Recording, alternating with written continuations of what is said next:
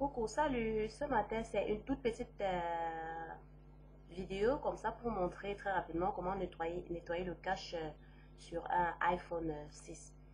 Voilà, dans les téléphones euh, simples, c'est facile parce que on voit clairement affiché parfois nettoyer le cache ou, ou alors calcul de cache, quelque chose comme ça. Le cache, c'est quoi? Le cache, c'est un tout petit peu comme ça la surcharge de notre téléphone, donc il faut tout le temps nettoyer. Sinon, la mémoire, elle est bouffée et puis, euh, quelques temps après, vous pouvez commencer à avoir un message euh, euh, vous, vous, disant que vous n'avez plus d'espace disponible sur votre téléphone. Oui, voilà. Dans le, iPhone 6, c'est un tout petit peu... C'est pas compliqué, mais c'est que c'est caché. Hein. Si on ne te dit pas, tu ne pourras pas savoir.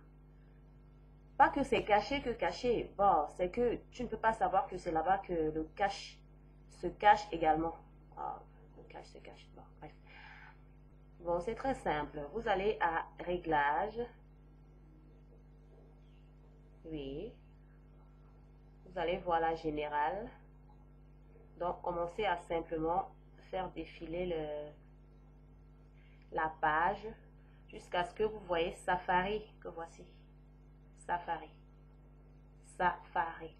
Juste en, dessous de boussole là. Ah là là, c'est un tout petit peu flou. On va attendre. Voilà.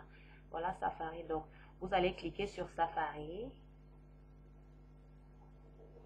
Voilà. Et faire la même chose comme euh, sur la page précédente. Vous allez faire défiler la page. La faire défiler jusqu'à ce que vous trouvez effacer historique et données de site. Oui que vous, euh, vous ignorez, c'est que c'est également ici qu'on peut nettoyer le cache de son iPhone. Voilà. Donc là, il suffit simplement d'appuyer dessus, effacer.